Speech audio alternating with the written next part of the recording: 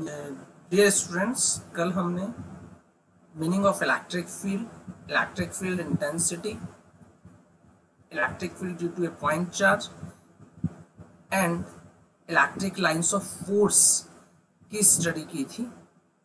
आज हमारा टॉपिक है इलेक्ट्रिक डाइपोल हम अब इलेक्ट्रिक डाइपोल के बारे में स्टडी करेंगे।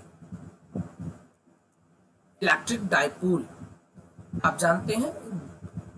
इस शब्द से ही पता चल रहा है। Dipole it means which have the two poles electric dipole is an arrangement of two equal and opposite charges separated by a small distance known as electric dipole and the electric field produced by the electric dipole is known as dipole field. You know that uh, every electric dipole has the dipole moment. And the dipole moment is a vector quantity. It is used to measure the strength of electric field. Electric dipole moment is defined as the product of magnitude of either charge and product of magnitude of either charge and distance between them. We can represent electric dipole with the help of diagram this is the negative charge this positive charge and this is the distance uh, which is separated the charges this is true well and the direction of the dipole moment is from negative charge to positive charge and the expression is like this q into 12 into unit vector i. Here unit vector i shows the direction of dipole moment. If we if we draw this diagram along x-axis then the dipole moment along the x-axis. Uh, and the unit vector i shows the direction of x-axis so it shows the direction of dipole moment. And uh, if we find the unit of uh, dipole moment you know that the unit of charge is coulomb and unit of 12 is meter. So the unit of SI unit of dipole moment is coulomb meter. There is a very important point regarding electric dipole. An ideal dipole is the dipole in which charge becomes larger and larger and the separation becomes smaller and smaller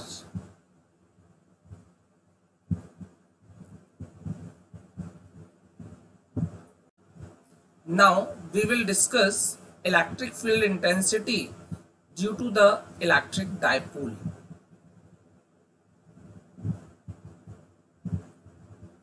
In regarding electric dipole, there are the two conditions. The first is on an axial line and on an equatorial line.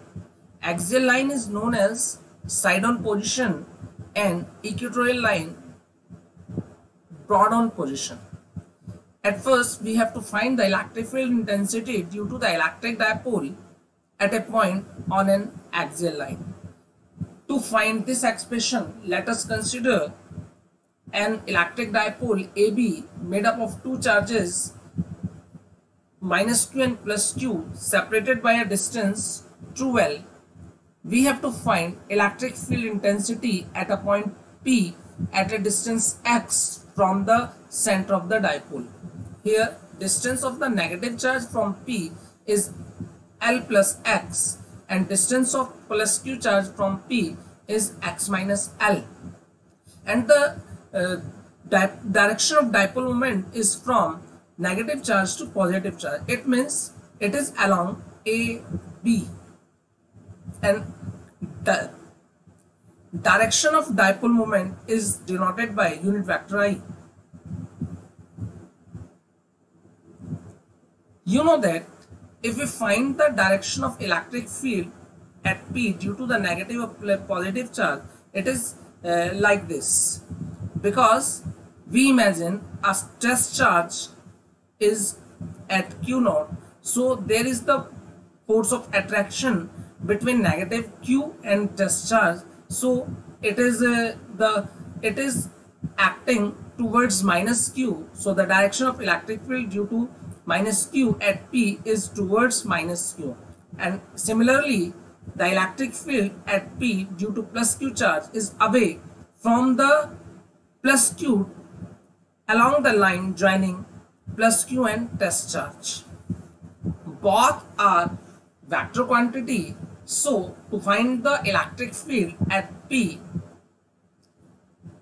we uh, we use vector sum of vector, vector sum of addition.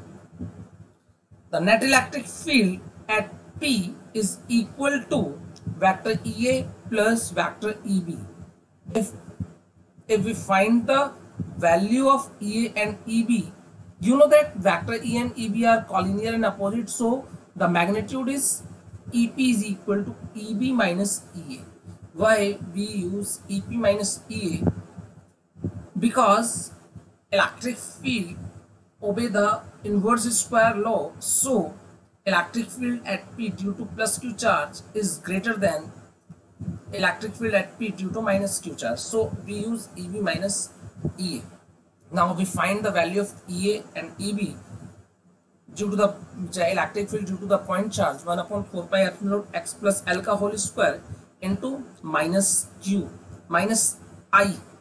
Minus i shows that the direction of ea opposite to the dipole moment and eb 1 upon 4 pi epsilon q upon x minus l ka whole square into unit vector i. It means the direction of eb is along the dipole moment. So the difference of these values which is equal to this if we solve then expression becomes 1 upon 4 pi epsilon naught 2 px upon x square minus l square to the whole square where p is the dipole moment uh, uh, p is equal to q into 2l if we write this expression in vector form we can write it in such a way ep is equal to 1 upon 4 pi epsilon naught 2 px upon x square minus l square to the whole square. If the dipole is very small 2l is very small so l is very very very small. L is very very less than x. 2l is less than x but the half of the dipole is very very less than x so we can neglect it so the expression of electric field at p is equal to 1 upon 4 pi epsilon naught 2p upon x cube. The direction of electric field intensity at point on the axial line due to electric field is always along the direction of dipole moment.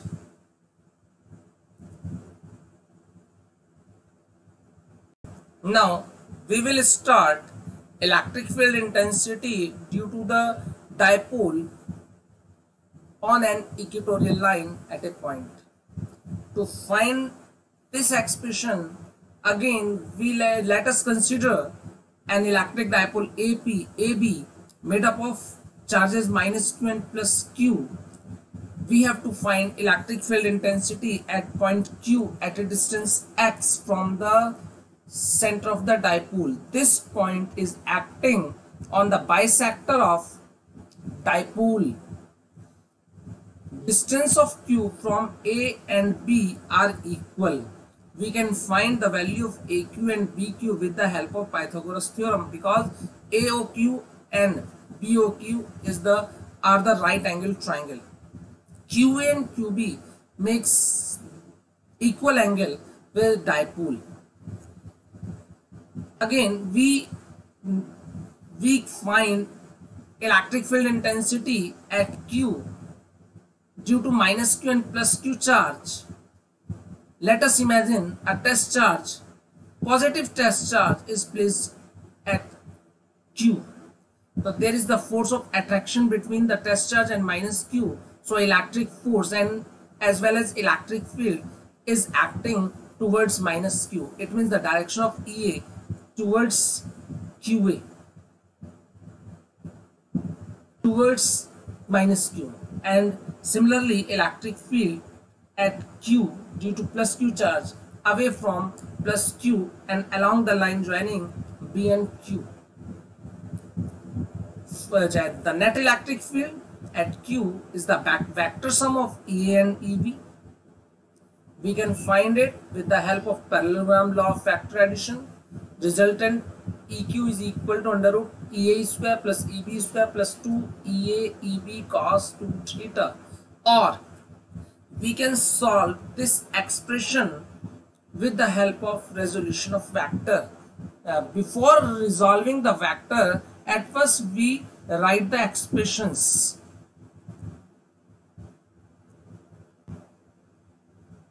EA is equal to 1 upon 4 pi epsilon naught Q upon and x square plus L square. It means this is the square of under root x square plus L square. Now EB is also like this. EA and EB are equal. They are equal in magnitude, but the direction are different. So E resolve EA and EB in their rectangular component. The rectangular component of EA is EA cos theta and EB EA sin theta. For EB, EA EB sin theta and EB cos theta. Here EA sin theta and EB sin theta are equal in magnitude, opposite in direction, so they cancel the effect of each other. But EA cos theta and EB cos theta are acting in same direction. So the net electric field at Q is the vac is the sum of EA cos theta and EB cos theta or we can write which is equal to 2 EA cos theta or 2 EB cos theta. The value of cos theta you can be find with the, the right angle triangle AOQ or BOQ. Yes, look at here. We can write this like this. Here the value of cos theta is L upon under root x square plus L square. If we simplify this equation, this is 1 upon 4 pi epsilon naught p upon x square plus L square e power 3 by 2. If we write this equation in vector form, then the minus unit vector i denotes the direction of net electric field. It concludes that the direction of net electric field on an on an equatorial line opposite to the direction of dipole moment. But in case of axial line, the direction of net electric field is in the direction of dipole moment. If we establish the relation between these expression, electric field at point P on an axial line is the twice of electric field at P on an equatorial line. If the length of the dipole is very less, very less, the distance of observation, then the half of the length of dipole is very, very less than the distance of observation x. So we neglect L. So then EQ is equal to P upon 4 pi epsilon naught x cube. Yes, look at here beta.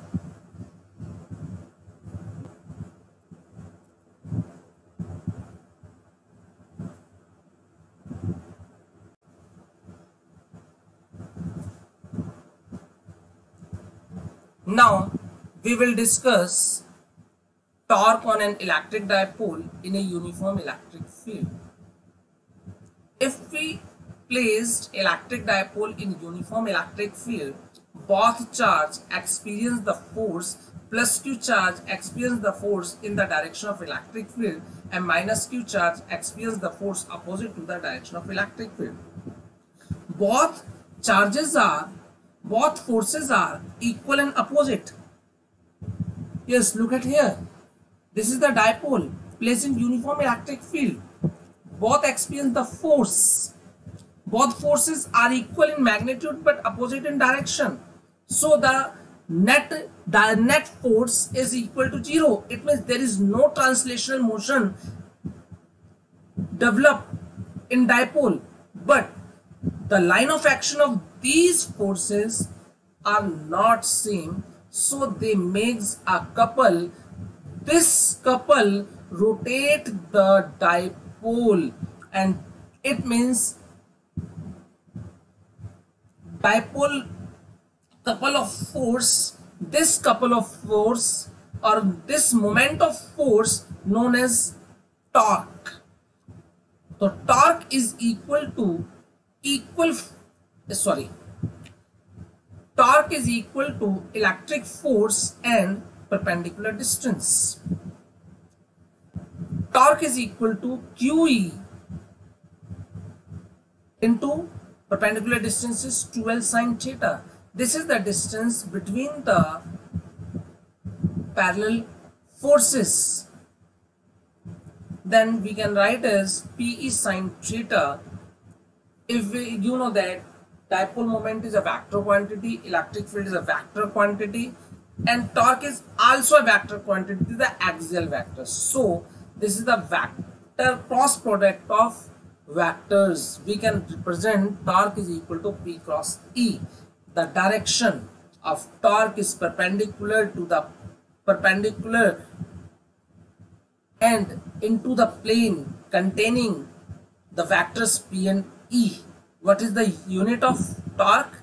The unit of dipole moment is coulomb meter and unit of electric field newton per coulomb. So the unit of torque is newton meter.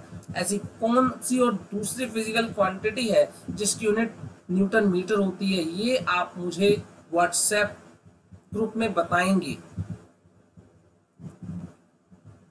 This is the electric field this is the dipole moment and this is the angle between them so this is the direction of torque they are the few special case in torque if theta is 0 then torque is 0 because sine 0 is 0 when theta is 90 then sine theta sine 90 is 1 then the torque is equal to p which is the maximum value if theta is 180 then sine 180 is 0 then the torque is acting 0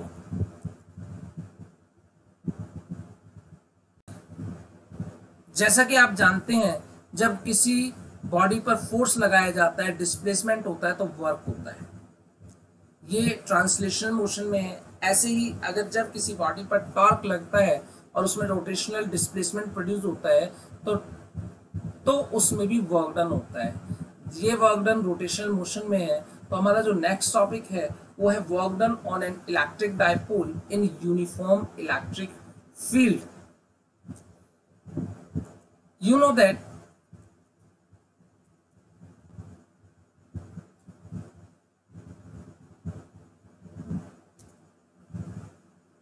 When an electric dipole is placed in uniform electric field, it experiences torque and it tends to align in such a way to stable equilibrium. Look at here. This is the dipole made up of two charges, equal and opposite charges separated by the distance 12. Experience the force uh, QE and minus QE both are in both are acting in opposite direction. Look at here. Both rotate it. Yes again see. Both rotate this in rotation motion. So uh, the initial position is theta 1 final is theta 2 and at any moment its displacement is d theta. Then the uh, work the small work has work is done then dw is equal to torque into d theta. If we put the value of torque p sine theta d theta if we find the total work to rotate the dipole from theta 1 to theta 2 we can represent from this expression. If we solve this expression we can find w is equal to pe cos theta 1 minus cos theta 2 because the integration of sine theta is minus cos theta. If you put the limit, then the final expression is w is equal to pe cos theta 1 minus cos theta 2.